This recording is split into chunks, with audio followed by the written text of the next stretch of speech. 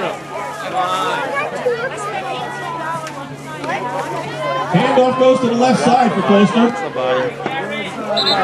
There you go. Good run, Garrett.